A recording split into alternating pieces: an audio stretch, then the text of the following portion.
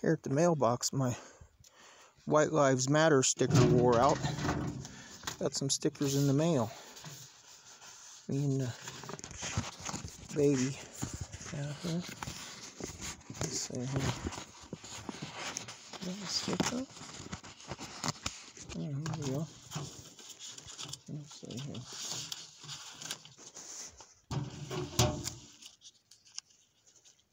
Right here.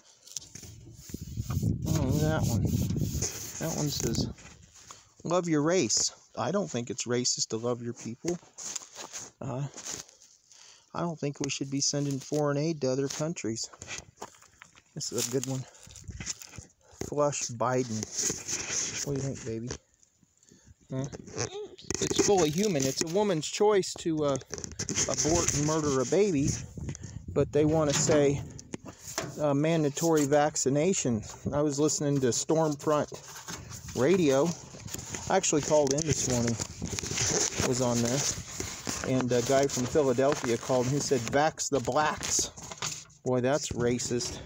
You know, they vaxed them at the Tuskegee Institute. They brought up, and they want to get rid of rid of them. Let's see. Here's here's one. White lives matter.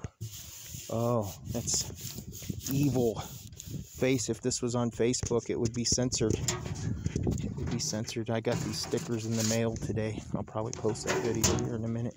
It's me in Ireland out here.